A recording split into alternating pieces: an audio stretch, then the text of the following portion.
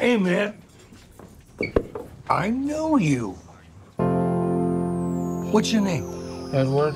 Do you work for Facebook? No, but I get this a lot. Oh, hey, neighbor.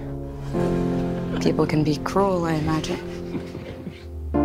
All unhappiness in life comes from not accepting what is.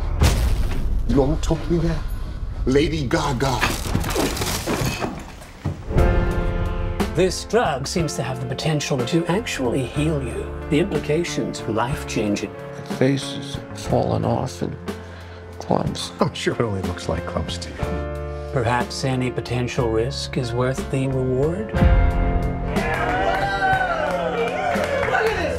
Look at this piece of man candy. Can I believe my eyes? Edward! Who don't remember me? Oswald. I. Hi. That guy's amazing. What do you know about him? Who is he?